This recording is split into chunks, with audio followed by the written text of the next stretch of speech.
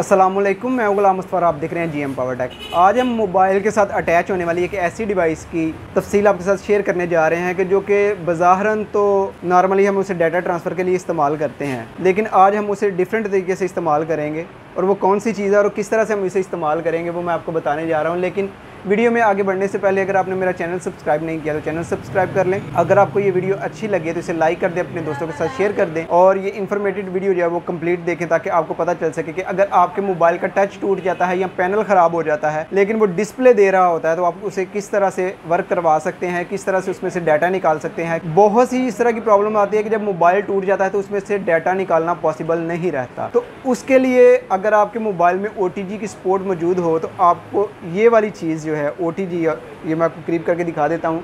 ये दो तरह की आती हैं, एक आम U S P two point zero और एक टाइप सी ये दो तरह की जो है, वो आती हैं ओ टी जी तो इसको आप मोबाइल के साथ अटैच करके, इसमें से जो डाटा है मोबाइल का, वो आप यू एस बी में और यू एस बी का डाटा जो है, वो आप ट्रांसफ़र कर सकते हैं मोबाइल में। लेकिन टच टूटने के बाद या मोबाइल ख़राब होने के बाद, जिसमें सिर्फ़ डिस्प्ले नज़र आ रहा हो और टच वर्किंग ना कर रहा हो तो ऐसी सूरत में मोबाइल का ऑपरेट होना एक नामुमकिन सी बात लगती है।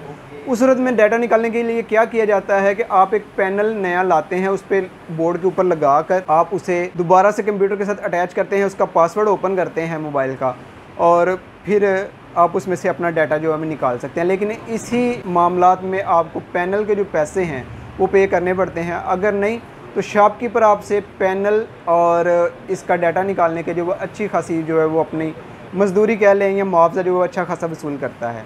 तो आज हम आपको जो चीज़ बताने जा रहे हैं और प्रैक्टिकल करके मैं आपको दिखाने जा रहा हूँ, वो तीन चीज़ें हैं मेरे पास ओटीजी जिसका इस्तेमाल हम करने वाले हैं डाटा ट्रांसफ़र के अलावा किसी और काम के लिए।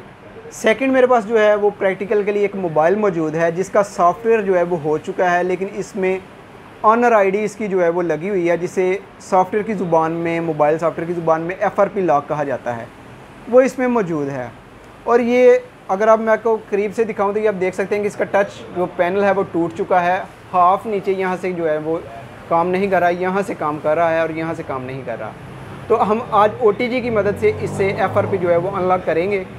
विद प्रैक्टिकल और वो प्रैक्टिकल जो है मैं आपको इससे नेक्स्ट आने वाली वीडियो में बताऊँगा। वो भी वीडियो आपने पूरी देखनी है ताकि नेक्स्ट अगर आप किसी इस तरह के मसले में फंस जाएँ तो आप इसे इजीली जो है वो आप इसको काम करवा सकें अपनी मर्ज़ी के मुताबिक। और थर्ड जो चीज़ इसके लिए हमें चाहिए एक ओ एक मोबाइल और थर्ड जो चीज़ हमें चाहिए इसके लिए जो हमें इसके साथ अटैच करेंगे, वो यहाँ पर मेरे पास वायर ओपन ही है।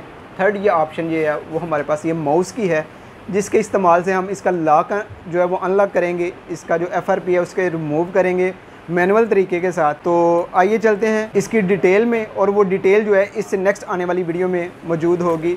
आज की वीडियो में बस इतना ही।